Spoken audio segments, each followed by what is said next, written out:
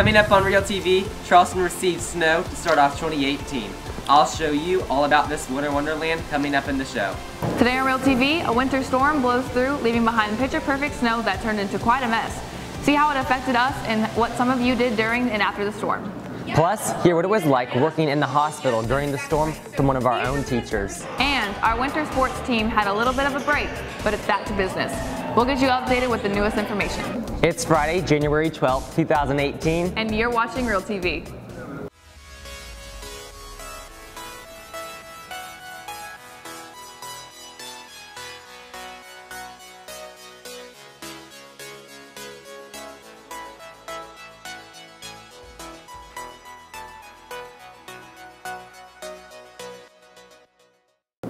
Morning, I'm Mackenzie Hagwood. And I'm Daniel Wood. Welcome back and Happy New Year. It's been three weeks since school let out for winter break, and what a way to start 2018 with the snow that covered the low country. The snow came down last Wednesday, the 3rd, and just kept falling into the night. On Thursday morning, we woke up to a beautiful winter wonderland. The low country started off 2018 with a snowy start. On Wednesday, temperatures did not exceed freezing. In the early morning hours, freezing rain began to fall, resulting in dangerous road conditions and many businesses closing for the day. By midday, the freezing rain changed into snow all across the greater Charleston area. The snow fell for the entire day, producing several inches of snow across the area. The majority of the snowfall came to a stop between 8 and 9 o'clock Wednesday night. Now, the snow is here to stay, possibly throughout the weekend. Temperatures are expected to remain at or just below freezing throughout the weekend. However, once temperatures do exceed 32 degrees and the sunlight is direct enough, the snow will slowly begin to melt. However, this process will not be quick, as temperatures are expected to dip below freezing each night, resulting in the snow getting more compact and causing more dangerous icy conditions. The actual snowfall may be gone now, but the impact of this winter blast is sure to be felt for several more days, especially on roadways. Well-traveled roads are clearing quickly, but many rural area roads are still a slick sheet of ice. Regardless of the brutal temperatures and icy conditions, this is a true winter wonderland for Charlestonians. The area has not seen this amount of snow in quite some time, and we aren't sure of when we'll see it again. Unlike winter storms in the past, the snow and the ice didn't quickly melt away. Areas of roads with snow and slush turned into ice, creating dangerous conditions that lasted from Thursday through the middle of this week. School was canceled on Tuesday for students here in Berkeley County, as well as in Charleston County and Dorchester County, due to icy conditions left on some of the roads. The icy slush left behind from the snow kept first responders busy for days after the storm had passed. Health science teacher Mrs. Landfear works part-time as a nurse in the emergency room at Summerville Medical Center. She says that last Saturday was one of the busiest days she's ever seen working in the ER. We had every bed filled, we had whole beds filled, and we even had some of the rooms double bunked with people that were waiting to go upstairs because the hospital was over capacity. We had a lot of car accidents, minor injuries, um, we had some falls. I think there was one case where someone broke their leg when they were in a man versus snowman incident. Many roads here in Goose Creek, including Crowfield Boulevard, right in front of Stratford, were closed for several days. According to the South Carolina Highway Patrol, there were more than 300 collisions in the Low Country from Wednesday morning through Friday. 138 collisions alone in Berkeley County. They don't understand snow and ice.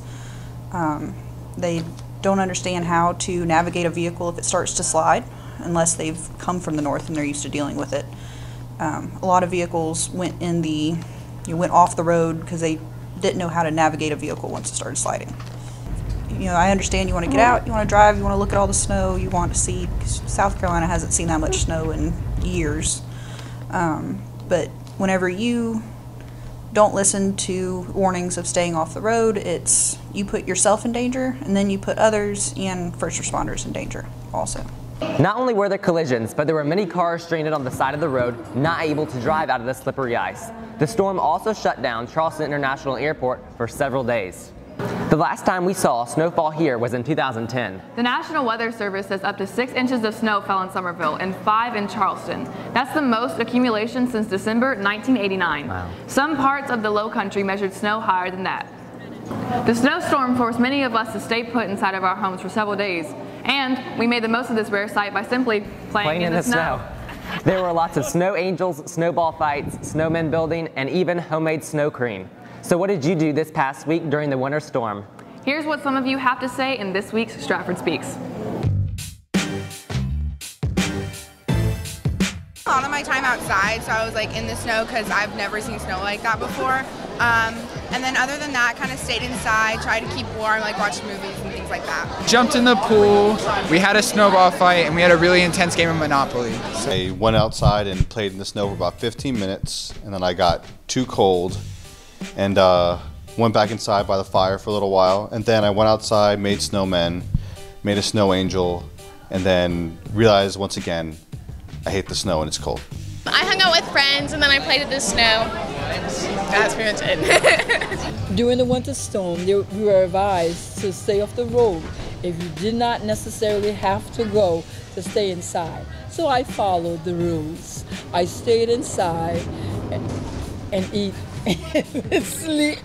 I hung out with my friends. I did some really lame stuff like I read some good books and watched some good movies and I slept the majority of the time. I drove around and did donuts in the school parking lot.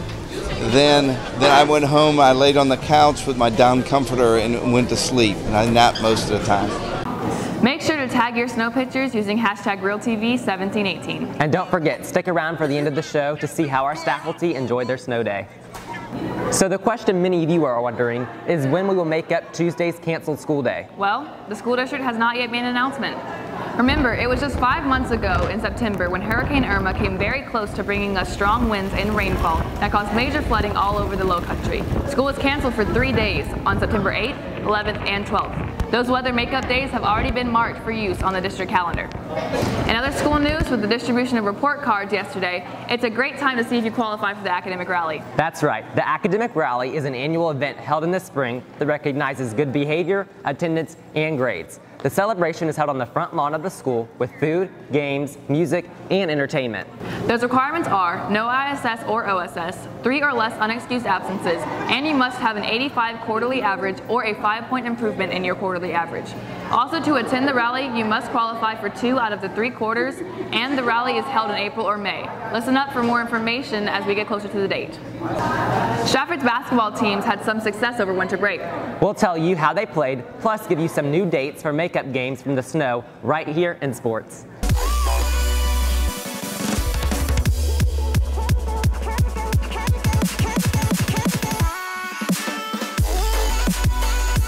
Several sporting events are getting rescheduled over the next few weeks because of last week's snow.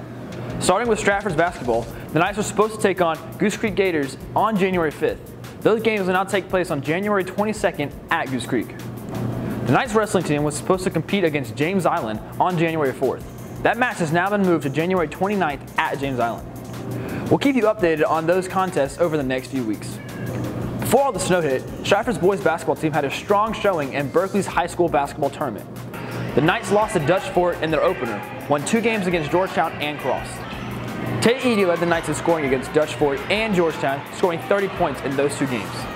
In the Knights' two wins, Eric Burks recorded double doubles in each game.